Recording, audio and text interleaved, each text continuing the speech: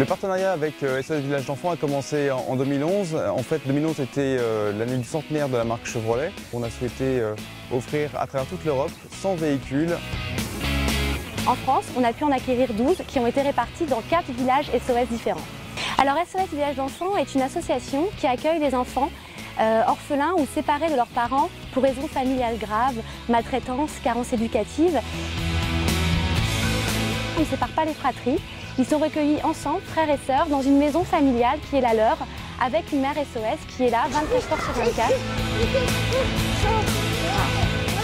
J'ai reçu euh, l'Orlando en mai 2011 euh, lors d'une petite fête euh, chez le concessionnaire Orlando à Cambrai.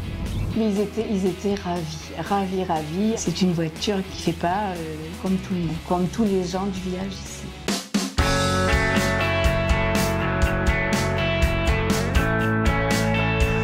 Cette année, pour 2012, nous accompagnons également Stéphane Viseux, qui est un ex-champion sportif, qui a entrepris un défi sportif assez fou, c'est de faire un tour de France à vélo en solitaire pour récolter des dons pour l'association SOS Village d'Enfants a commencé et euh, nous avons mis à sa disposition un chauffeur Orlando pour l'accompagner dans ce Tour de France.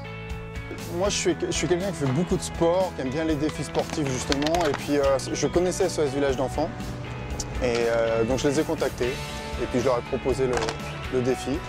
On s'est rencontrés à Paris et puis voilà, tout, est parti de là en fait. Ils ont été, euh, je pense, séduits du projet. Allez, rendez-vous dans le jour à Marseille.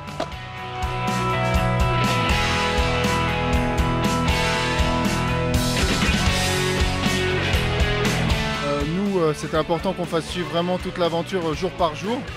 Et effectivement, j'ai reçu beaucoup, beaucoup de, messages de soutien, et notamment des enfants des villages.